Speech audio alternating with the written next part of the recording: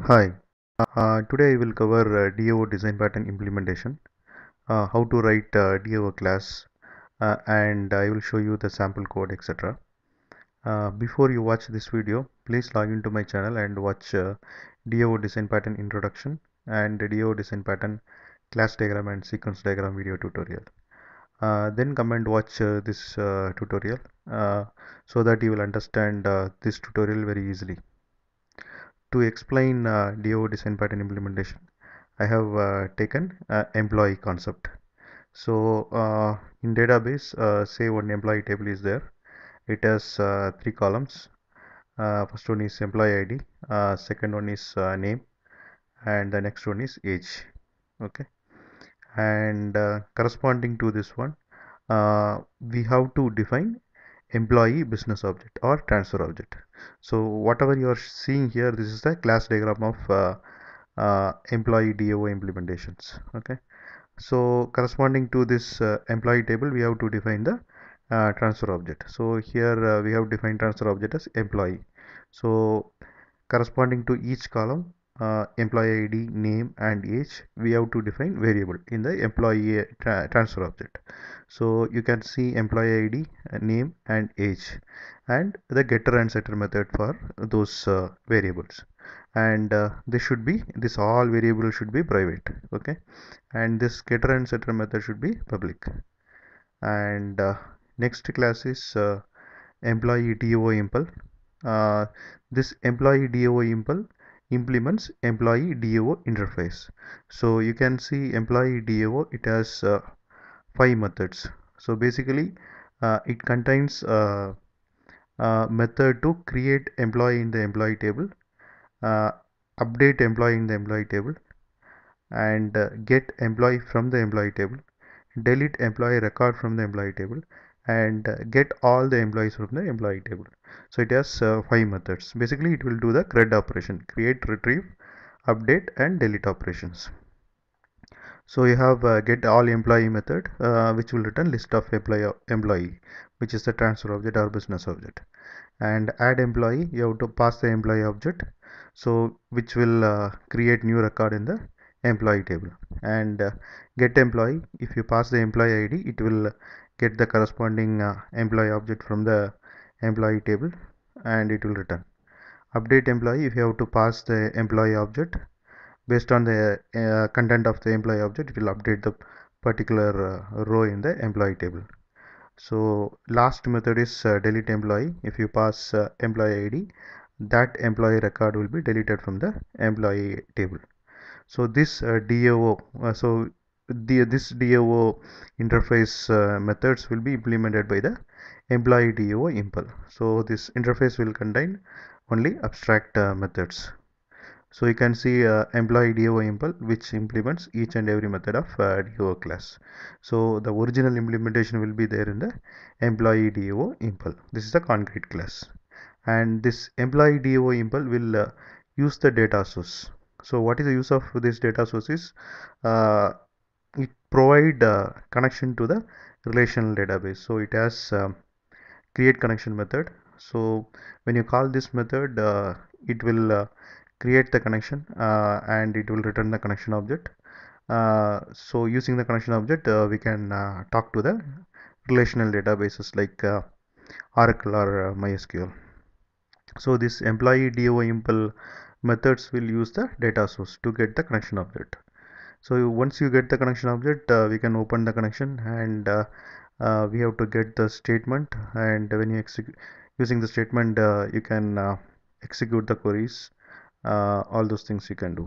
And employee DAO pattern demo this acts as a client. It has main method and uh, it will call employee DAO impl methods okay? So this is the class diagram of uh, uh, DAO design pattern. We will see the code.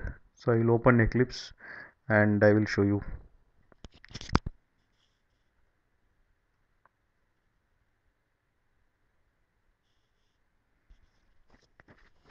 okay uh, so this is the project uh, structure uh, you can see this is a bin folder all class file will be there and uh, the folder uh, you have to you have to put uh, common dbcp 1.4 jar and commons pool 1.6 jar and uh, MySQL connector. So I have uh, used MySQL database for uh, uh, the example. Okay, so these three jars you have to put it in the lib and uh, set it in the class path. Script folder uh, I put uh, the SQL which I used for this project. So so this contains uh, uh, create the database uh, ramj2e in that uh, employee table I created. Okay I will show you uh, the MySQL. So you can see a employee table here under ramj2e database and uh, there are three columns employee ID int 32 name var character 32 this employee ID is the primary key uh, and age int 32 okay? So I just uh, execute that query. You can see no record in the database uh, table. And uh, next is the source folder. So we will see what and all classes which are there in the source folder. Mm, so I just I will just open uh, class diagram. So you can see employee okay? So corresponding to that you can see employee.java here. Okay? So like I explained it contains uh, uh, variables employee ID name and age which is corresponding to the employee table and it has uh, setter and getter methods. And uh, next class is employee uh, impl okay. so we have employee DAO impl which implements employee DAO interface. So that is there in the class diagram. You can see it in the top. So I will I will open employee DAO interface. So you can see uh, methods uh, to perform the CRUD operation. Create update uh, delete and uh, get all the employees etc and this uh, DAO impl has implementation of uh, each method which is there in the DAO class. So get all employees. So I have provided the implementation. So uh, like I explained uh, uh, in the class diagram this uh, employee DAO impl the each method will use the data source. You can see in the class diagram data source in the right side so what is the use of data sources? It will uh, provide the connection. Using the connection you can uh, talk to the database. So I'll open the data source to java. So it has create connection method and uh, it will provide the connection object. Using the connection object you can talk to the database. And uh, next uh, last one is uh, demo this uh, employee DAO pattern demo which acts as a client. And uh, this will call employee methods okay? And now we will see employee so here get all employees method is there. So I will just explain what uh, we are doing here. Uh, so using the data source uh, we are getting the connection. So once you get the connection um, here what we are doing is we are creating the statement so once you get the statement uh, you have to execute the query. The query is uh, select star from employee. We want to get all the employees from the employee table. So once you execute the query it will return the result set. Uh, result set uh, is nothing but uh, it will contains row from the uh, database table.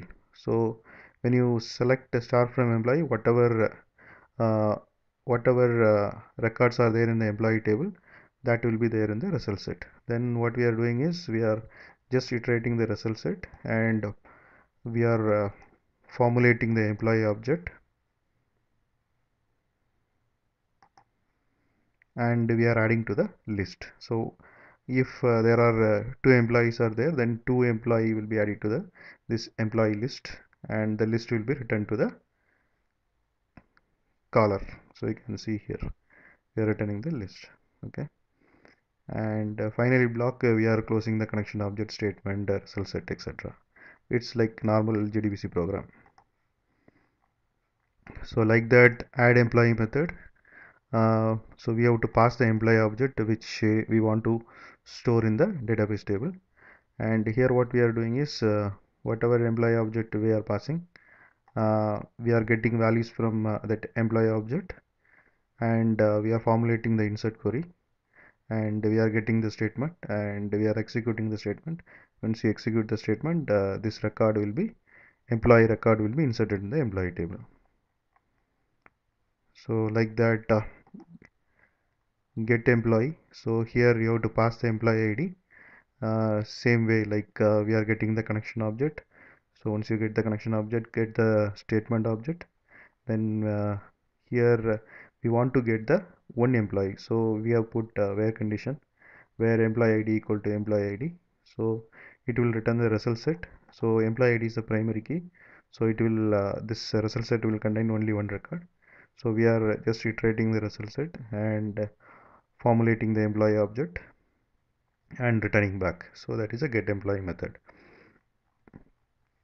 And uh, update employee. Uh, so we have to uh, pass the employee object. So whatever is there in the employee object we are getting here in the update uh, query. Uh, we are setting the name as name whatever is coming in the employee object where employee id equal to whatever is there in the employee object. So same way we have to get the connection object get the prepared statement or statement and uh, execute the query. It will update the record in the employee table and uh, last method is uh, uh delete employee and you have to pass the employee id so here uh, what we are doing is delete from employee where employee id equal to whatever they are passing um, so based on that this SQL, the record will be deleted from the employee table. Here same like we have to get the connection from the data source and uh, uh get the uh, statement and once you get the statement uh, we have to execute the SQL. So this uh, this is how this employee DAO works. So basically this contains the uh, method to perform uh, CRUD operation. Okay and uh, now we will see employee DAO pattern demo.java so this acts as a client uh, so this is how uh, you can add employee so here what we are doing is we are formulating the employee object and uh, calling the employee uh, DAO employee DAO impl uh, method add employee. Add employee is the uh, employee DAO impl method. Okay so we are adding the employee. And uh, next uh, here what we are doing is uh, we are getting all the employees from the employee table and just printing those values. And this one uh, based on the employee ID we are getting that uh, employee object and just printing that and uh, here we are doing update employee we are pop populating employee object and updating the record in the employee table and uh, the final one is uh, delete employee based on the employee ID. I will just run the demo and I will show you the output.